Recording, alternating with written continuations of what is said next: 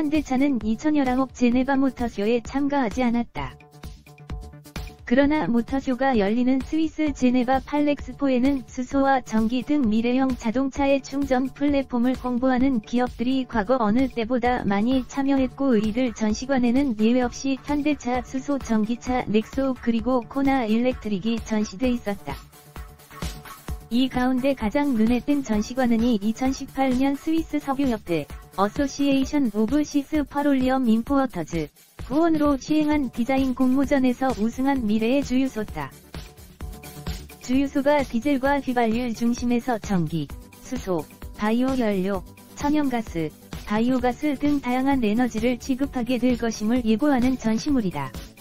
이 공모전에는 현대차도 참여했다.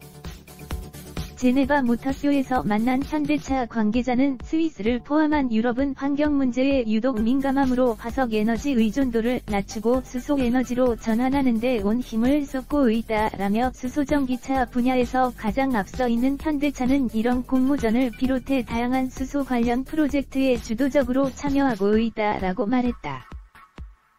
세계는 왜 수소 경제에 주목하는가 FCA 지주 수소연료전지 보급 확대를 위한 EU 민관연 파트너십. 이 최근 발간한 보고서에 따르면 오는 2050년 전체 에너지 수요의 24%는 수소로 대체될 전망이다.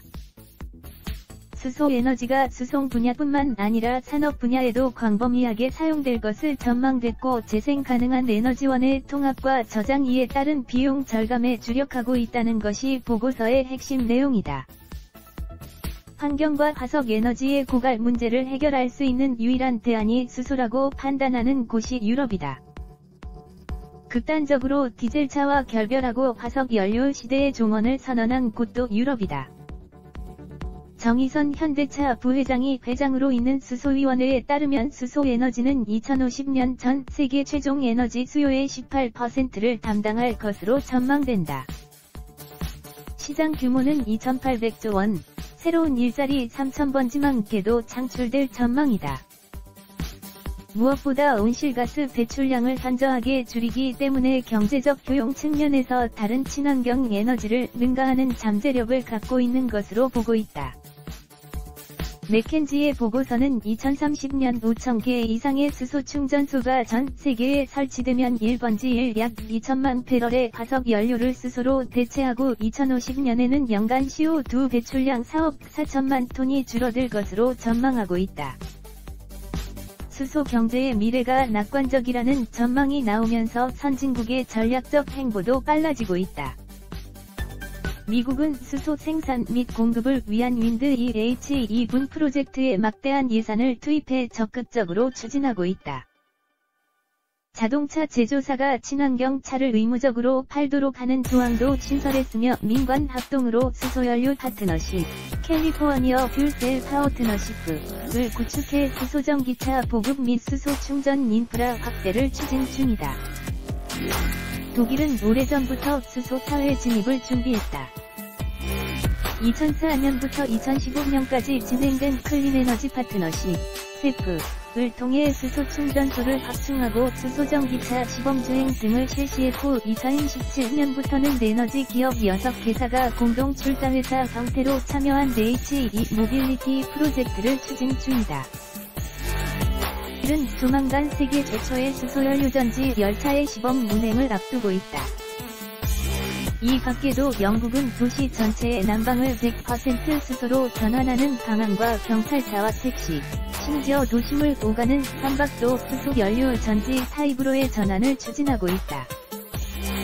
이런 상황에서 현대차는 어느 자동차 브랜드보다 유럽의 수소 사회에 가장 깊숙하게 진출해 있다. 현대차의 유럽 수소 사회 현주소와 전략 유럽은 수소 유럽, 하이드러전 유럽프, 을 중심으로 산업과 연구 그리고 프로젝트와 관련 기업, 각국 기관을 통합하고 기술을 공유하고 실증을 통해 일반화하는 작업에 공을 들이고 있다. 특히 자동차를 포함한 운송수단뿐만 아니라 산업과 가정용 수소 에너지를 개발하고 공급하는 연구도 한창 진행하고 있다. 현대차는 지난 2013년 세계 최초의 양산형 수소전기차 수상구 개발에 성공하고 이를 독일과 덴마크 등에 수출하면서 유럽 수소 사회에 가장 먼저 그리고 빠르게 진출한 자동차 기업이다. 지난해 2월 출시된 수소전기차 전용 모델 넥소, NEXO의 반응은 더 뜨겁다. 수상구는 파리 중심을 오가는 택시로도 운행이 되고 있다. 경쟁 모델인 토요타 미라이, 혼다 클래리티보다 주행 거리와 성능에서 앞선 것으로 평가되면서 프랑스 에어리퀴드, Engie사와 함께 5,000대의 수소 전기차 공급을 위한 MOU를을 체결한 것도 현대차다.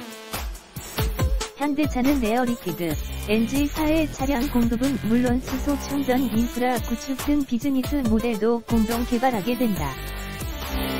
업계에서는 수소 분야에서 세계 최고의 기술을 갖춘 에어리퀴드와 엔지가 현대차를 파트너로 정한 것은 그만큼 선도적인 기술을 갖고 있다고 믿고 있기 때문이다. 프랑스뿐만 아니라 현대차는 지난해 9월 스위스 수소 에너지 기업인 HE 에너지에 2019년부터 2023년까지 5년 동안 수소 전기 트럭 1000대 공급 계약을 체결하기도 했다.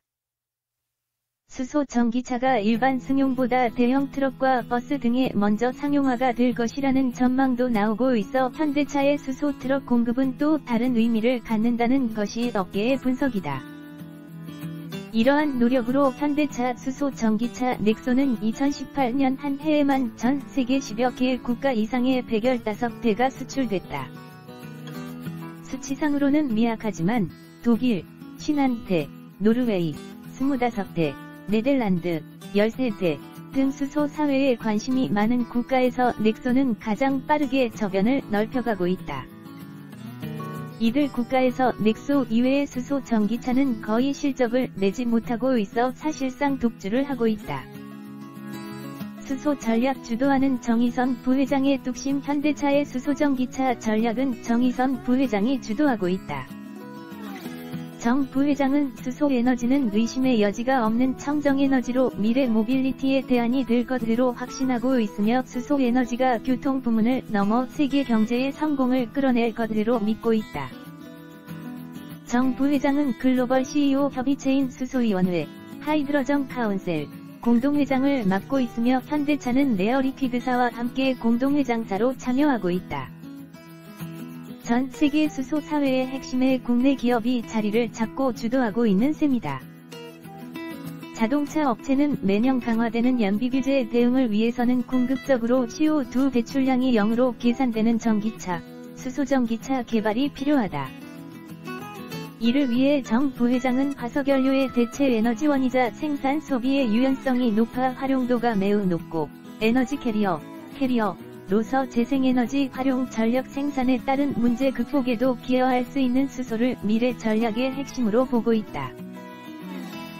차가 최근 상용 수소 전기차의 대용량 고압 충전 표준 부품 개발을 위한 글로벌 컨소시엄 구성 및 양해각서, 마우를 체결한 것만 봐도 미래 에너지의 전환에 중대한 시기가 왔음을 느끼게 한다. 현대차는 앞서 2030년 수소전기차 생산을 연간 50만 대로 확장하겠다는 새로운 계획도 발표했다. 여기에는 일본 토요타도 포함이 돼 있다. 전기차를 우선순위에 두고 수소 전기차에 무리한 투자를 했다가 낭패를 볼 수 있다는 지적이다.